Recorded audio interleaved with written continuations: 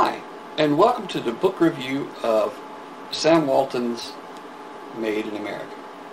Now, this book was written just before uh, Sam died, um, back in the early 90s, I believe 1992, but don't quote me on that, but he gives the, the dates given here in the book. Anyway, it's a, a book that uh, is a very interesting read. Now, Inc. magazine gives you a rigor rating of the different books that they rate, and it's as good a, a rating as uh, any as I could possibly give. They rate books from Who Moved My Cheese, Who Moved My Cheese, to Good to Great. Now, this is a rigor rating, as in how difficult it is to read. Now, Who Might Move My Cheese is a very easy to read, very simple, very basic book that uh, is quite frankly very fun. And Good to Great by Jim Collins is a very good book, a very interesting book, but it's very difficult to read. It's not something that you're going to sit down and uh, uh, say, wow, this is, I just can't put it down kind of thing. This is a book that uh, takes some effort to read. Okay, well, Sam Walton's book is a lot closer to Who Moved My Cheese. It's a very easy to read book. It's a very um, entertaining book. Uh, and in this book, Sam Walton takes you through some history of Walmart, through some history of pre-Walmart, uh, how he got the ideas that he got. And uh, he also talks about the problems that he had, the lessons that he learned along the way. Um, he gives credit to a lot of fine people throughout the book.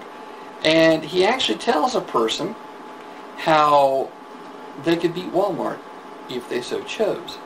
Now, this is interesting because he also gives some warnings in, I believe it's chapter 9, he gives some warnings to the people there at Walmart about how they will fail. And if you look down, this will be posted on the uh, um, Redneck MBA website, and I give a quote in there, and uh, I don't have it readily available right now, but uh, I give a quote in there where he talks about what he fears the most for Walmart, where he had read um, recently at that point in time about the uh, 76 discounters that started about the time he did, and many of them started with uh, a lot more money and a lot better locations, and they were out of business. And why? Because they lost sight of their customers. And why did they lose sight of the customers? Because they lost sight of taking care of their employees. Well, this is exactly what's happening today. Now, Walmart, W-A-L squiggly, M-A-R-T, is a very different place than Walmart, W-A-L-M-A-R-T. And they got rid of the squiggly, I don't know why, but they got rid of the squiggly after Mr. Sam died. A lot of his employees uh, knew him as Mr. Sam. They gave him the respectful title of Mr. Sam. And we're going to refer to him most of the time as Mr. Sam because most of the employees that I've talked with that actually met Mr. Sam had a great deal of respect for him. He treated his employees well, although not always, but basically treated them well. And um, in this book, it talks about how if the uh, company loses sight of the employee, doesn't take care of the employee on the floor, that employee won't take care of the customer, and that customer won't be satisfied, and that customer will vote with their feet. And that's exactly the term that he uses, is that they'll vote with their feet. He talks about the concept of management by walking and flying around. Now, the uh, book uh, In Search of Excellence by Robert Waterman Jr., I believe it is, and Tom Peters discuss the concept of management while walking around and state that uh, um, Mr. Sam called it management by walking about, but in the book he talks about management by walking and flying around, which says that the uh, head of a company, no matter what company, no matter what size, needs to be out on the sales floor. And we're going to discuss that in a video in the uh, near future about management by, uh, by walking around. But anyway, he talks, chapter 9 is just full of things that the Walmart, the top echelon of Walmart should read. Every every everyone that has any kind of thought of investing in Walmart stock, of being a Walmart uh, manager, being a Walmart executive of any type, this should be required reading.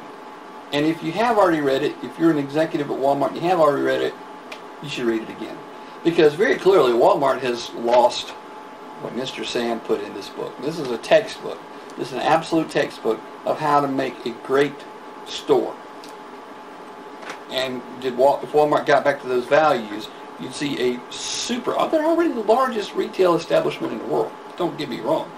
They are excellent in making money. But just like Mr. Sam predicted, very soon they're going to fall in the ranking because they've forgotten their customer. So, if you're going to start, you want to try to beat Walmart, read the book. You want to try to learn about uh, how Walmart did it, read the book. You want to learn about how to be a great re- retailer, read the book. This is, if you could only read one book, if you're going into retailing, you could only read one book, this is the book to read. Now, obviously there are many others that we'll recommend that you should read, but if you're going into retail, this is the book to read. Uh, maybe not necessarily first, because there's a few others. This is a great book. It's enjoyable to read. It doesn't take long. You could read it in, probably a, a, couple of sittings. You probably don't want to sit there and try to read the whole thing from beginning to end, but you can read it in a few sittings. Um, very entertaining, very interesting. Uh, Mr. Sam has a very um, friendly kind of uh, approach to the way that he tells his story. It's very interesting. Um, the book was written, Sam Walton with John Huey. I suspect that uh, John Huey actually did most of the writing, but Mr. Sam is very clearly in here.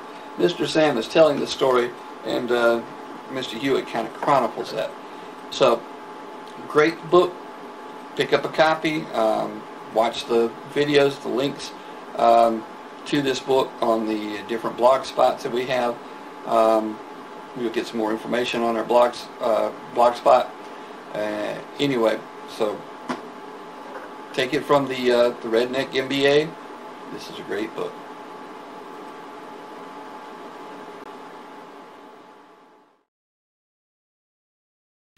This is a Federal Trade Commission required notice. When you click on an advertisement that is displayed with this video, or just before it, we receive a small commission. Sometimes, if you merely watch an ad, we receive commission. If you purchase anything by clicking on links on any of our websites, we receive a commission as well. These great redneck coffee mugs are available at www.cafepress.com forward slash redneck for president. We receive a commission off of them as well.